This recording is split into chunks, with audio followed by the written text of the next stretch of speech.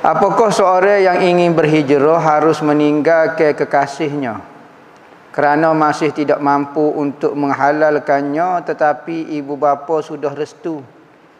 Jika ditinggalkan takut menyakiti kekasihnya. Lepas tu kalau tak tinggal menyakiti siapa dia? Menyakiti Allah dan menyakiti hati kita.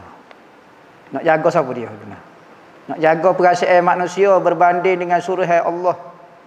Awak kalau tak pakai telekung, saya tak boleh nikah dengan awak lagu ni.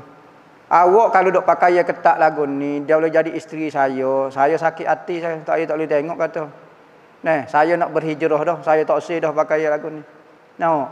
Patu saya kat saya nak bela awak kata dok pergi maksiat. Ibu bapa kita restu dah ke? Allah Taala tak restu, tak usah nikah lah.